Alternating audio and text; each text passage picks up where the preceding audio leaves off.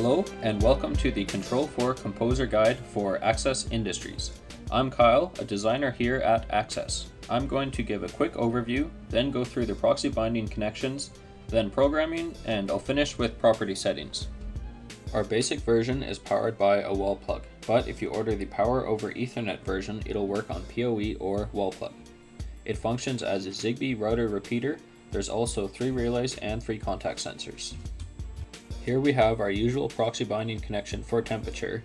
We also have connections for each of the three relays and three contact sensors. A common use for these is to bind them to generic garage door drivers and use the Control4 Navigator to see if doors are open or closed.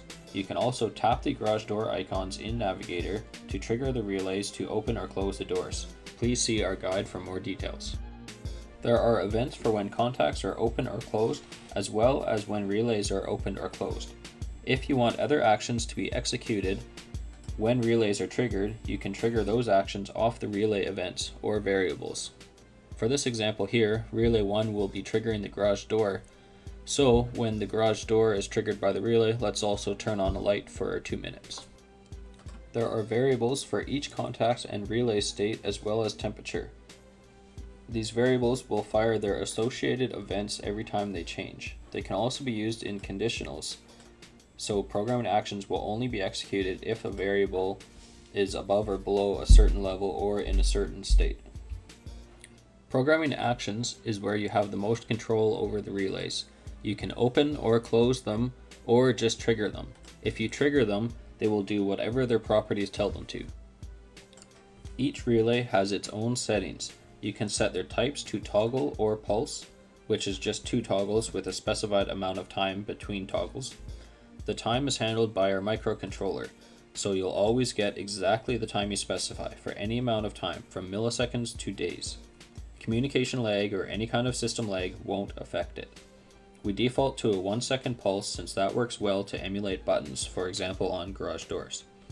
If you want to trigger multiple relays at the same time, use the property link relay inputs and choose which relays you want linked. You can also manually change their state using the state properties. Power on state properties allow you to set the relays to a certain state when device is powered on, or leave it on the default of restore last state and they'll be set to whatever state they were when power was turned off. A description for each property can be found in the documentation tab. At the top of the list is time of last communication, a good place to look when troubleshooting. Next is show properties. Set it to show to see updated property values. It'll time out and switch back to hide to conserve controller resources. Debug mode is also good for troubleshooting. Set it to print and click the Lua tab to see what the driver has to say.